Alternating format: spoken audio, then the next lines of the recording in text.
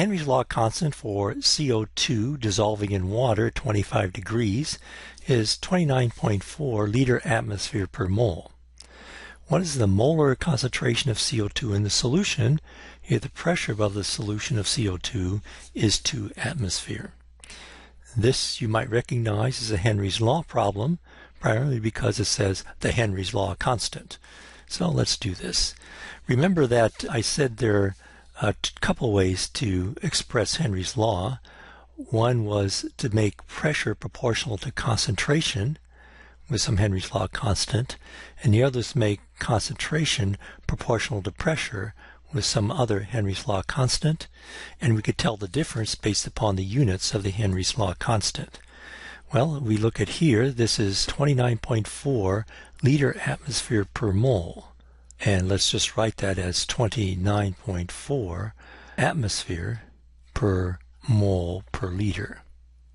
All right, so this looks like uh, you have to uh, multiply by concentration to get pressure, multiply by concentration to get pressure, so we're going to use this.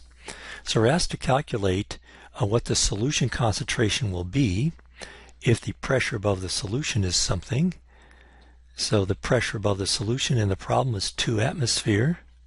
The Henry's law concentration, is, or Henry's law constant is 29.4 atmosphere per molar. And so this comes out to be a 0.068 molar. So that's the concentration of CO2 in the solution when the pressure of CO2 above the solution is 2 atmosphere. Now what assumptions are used in making this calculation? Well, we're assuming we're at Henry's law and recall that if we look at the, say, the partial pressure as a function of mole fraction of some component, here we're going from 0 to 1. And in general, for gases, we have non-ideal behavior. So let's say uh, we have something like this. So what we're assuming is that we're low enough concentration down here. This would be Henry's law. Remember Henry's law, you draw a curve tangent to the data at low concentration and say that the pressure is proportional to mole fraction, or in this case, concentration unit mol- molar, uh, proportional down there. So that's the big assumption that we're low enough concentration so that pressure and concentration are proportional with the given Henry's law constant.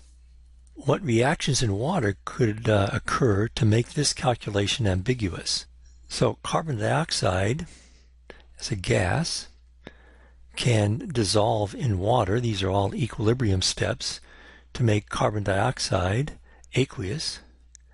But then there's a chemical reaction that occurs, carbon dioxide with water, to make carbonic acid, which then dissociates into a neutral pH, H plus, and a carbonate ion, HCO3 minus.